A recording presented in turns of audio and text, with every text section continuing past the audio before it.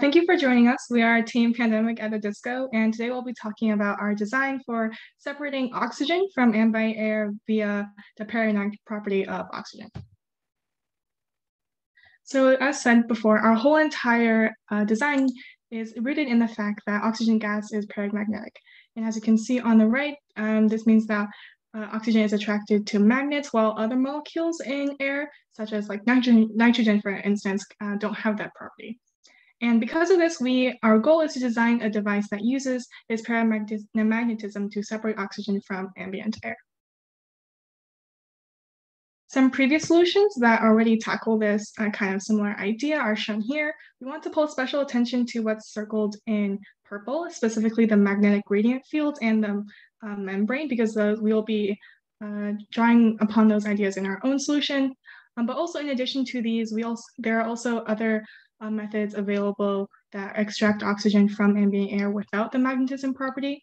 Uh, but those are more costly um, energy, they use more energy and they're also less compact, which is why we have focused more on, on our route. And as you can see here, we have a skeleton of our solution based on some of the um, previous designs. And uh, two things that we identified as specifically important for our design was the use of a membrane shown here in blue and the use of a magnet shown here in yellow. And we will explain more about these two components and sort of explain how our, they developed throughout our design in the future slides. So to go into more detail about the membrane, um, we decided to use a polyether sulfone membrane with a thickness of 20 microns. And the reason we decided on this material is because out of all the polymer membranes that we researched, it had the highest ratio of um, the diffusion coefficient for oxygen to nitrogen. And as you can see in this formula, the rate of the diffusion depends on the diffusion coefficient, which is D.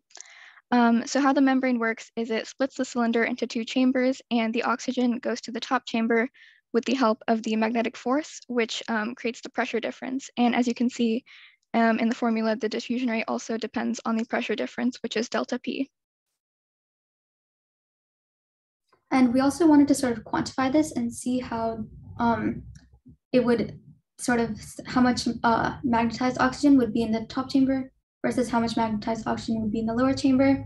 And um, when we plug this into the equation with a magnet of force of 20 Teslas, which is pretty strong, we got a um, ratio of 1.07, which means there's 7% more oxygen in the upper chamber than the lower chamber. And um, we should also mention we did use a very strong magnet, but we thought uh, this ratio was uh, high enough, so we proceeded with our design. So once we confirmed that the ratio was uh, big enough for us to uh, continue pursuing this route, we then encountered the uh, challenge of how do we uh, practically implement this magnetic field. And so we had the idea of using a magnetic gradient. So that's weak, a magnetic field that's weak at the bottom chamber and increases as you travel to the upper chamber. And the oxygen being paramagnetic will follow this uh, gradient from the bottom chamber and be pulled upward uh, into the upper chamber increasing the concentration of oxygen there. And in order to establish this gradient, we actually took inspiration from like MRI systems, so magnetic resonance imaging systems. Uh, we took three coils that they use to do gradients in MRI, uh, Helmholtz coils, Maxwell coils, and Golay coils, and we combined them to create uh, the vertical gradient that we wanted uh, in our own system. And here are some diagrams of these different coils and their shapes on the right side of the slide. There are a lot more details in our open source document, but there's not enough time to go through all of them right now.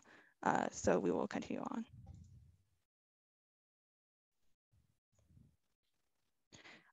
And here's a uh, diagram of what our, the coils would look like on our design. And because we weren't able to do actual experimentation with our device, we also uh, included an alternate design to create a magnetic gradient using permanent magnets instead of electromagnets. Here, uh, and there are, again, more details on this in the open source document. Um, we also calculated the rate of the diffusion for the oxygen using the force created by the magnet.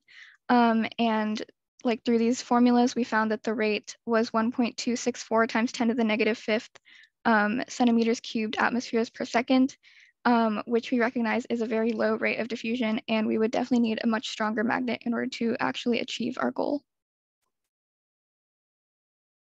And as we mentioned previously just now, there are plenty of limitations to our design, um, especially when you consider that the strongest magnet ever created was 45 Tesla.